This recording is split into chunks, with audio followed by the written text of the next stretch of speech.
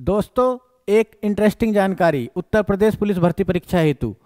कि डॉल्फिन, जो एक स्तनधारी वर्ग का प्राणी है, उसको उत्तर प्रदेश का राजकीय जीव घोषित किया गया है।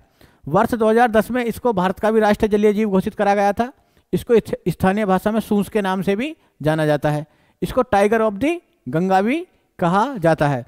यहाँ दोस्तों, ध्यान रखना आपको, उत्तर प्रदेश की राजकीय मछली है चितला। क्योंकि जो डॉल्फिन है, गंगा डॉल्फिन, ये एक स्तनधारी यानी मैमल वर्ग का प्राणी है। ऐसी ही जानकारी के लिए आज ही हमारे चैनल को लाइक करें, शेयर करें और सब्सक्राइब करें।